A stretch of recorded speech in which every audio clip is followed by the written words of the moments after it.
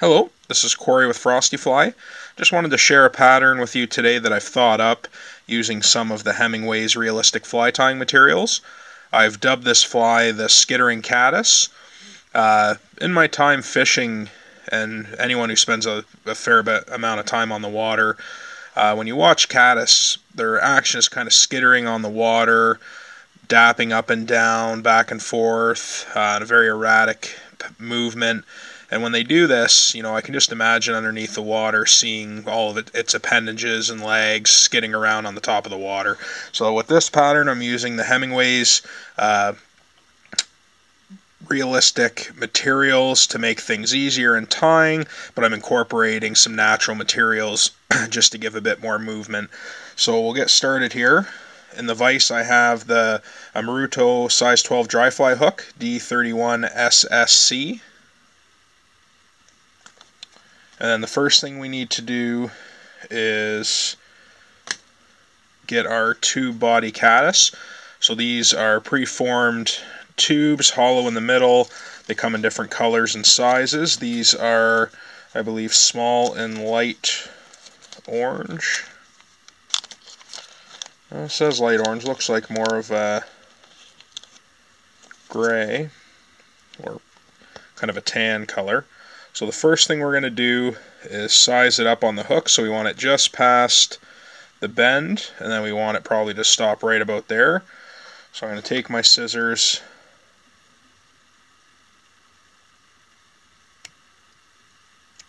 and cut off the material. Then we're going to take the hook out of the vise, and as I said, these are hollow. So you push it through the middle, trying to be careful not to have it pop out and not to stick yourself.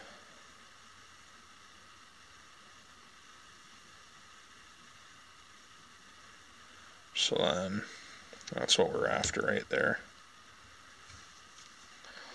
So for tying thread I'm using 6-aught Danville's in a, it's like an olive color and waxed. So we're going to start our thread at the front we're going to push our tube back and go back probably about halfway into the hook and then just build a tiny bit of thread there. I found if you don't secure the tube it has a tendency to want to flip around. So what I've done to combat this is just a touch of super glue on the thread wraps there. Push the tube back up. And then secure it. So you secure the head just a bit back. So the next material material we're going to need is CDC. So I've got CDC here in gray.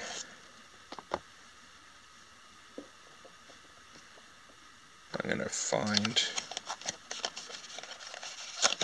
two similar feathers. Roughly line up the tips. Then I'm going to grab the whole bunch, preen it back. Let's try that again.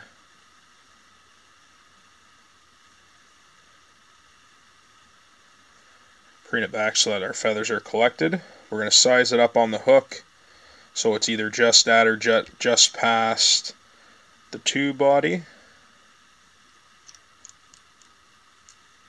Then secure it in.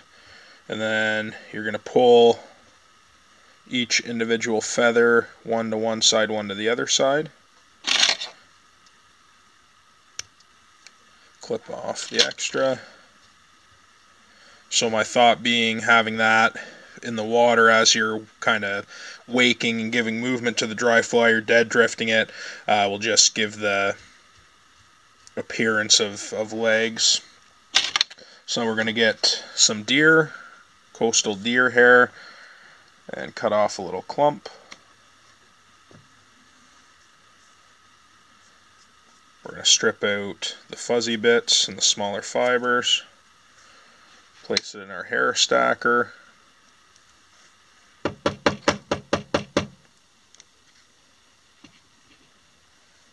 To arrange the tips. So you want to tie it in like an Elk Hair Caddis. Same thing, just slightly before the end of the tube on this side.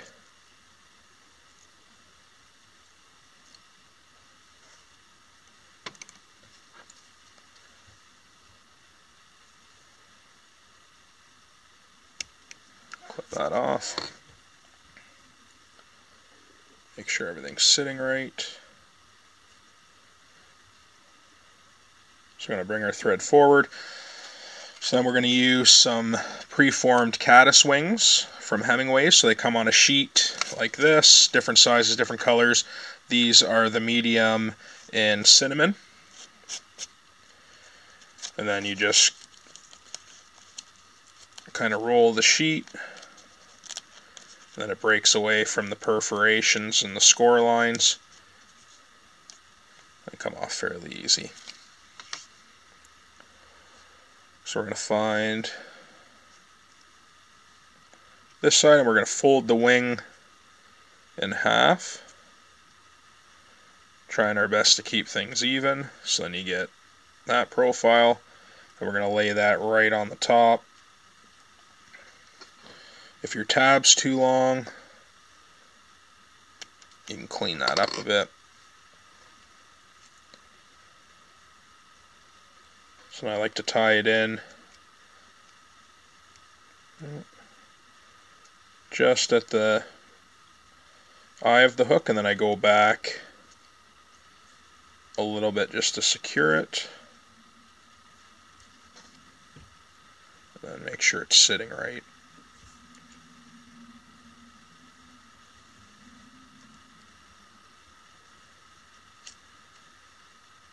So at this point, you could just put a bit, a little bit of dubbing on the head, just for, I guess, appearance and kind of to put a little something there. So from underneath, it looks like a bit of, of uh, the body. Um, what I like to do, just just for fun and to make the fly look better, is get two uh, small fibers of the deer hair and tie them in at the front kind of as the antennae.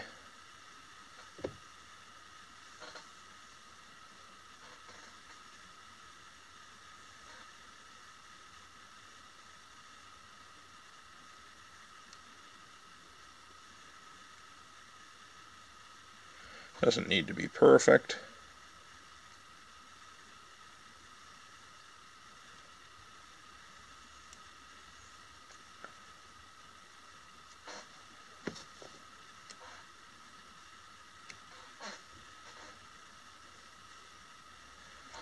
Okay, so now we're going to take a very small pinch of Hare's Ear, Hare's Dubbing Plus UV. I'm going to go with kind of the light, very light tan color. Pull a tiny bit out.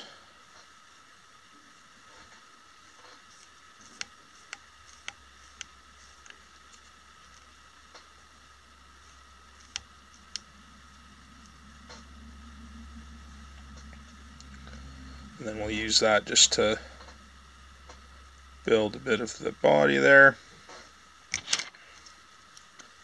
Finish.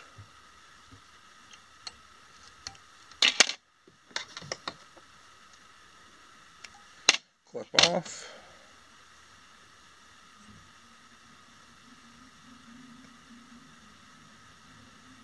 Just arrange our antenna here a little better. As I said, this is more just more for the fishermen than the fish, I think. But it might impart a little bit of movement or disturbance in the surface as well. So there you have it. You can put a little bit of uh, dry fly floating if you wanted uh, on the CDC or the deer in the back. But uh, I think it should be should be an effective pattern.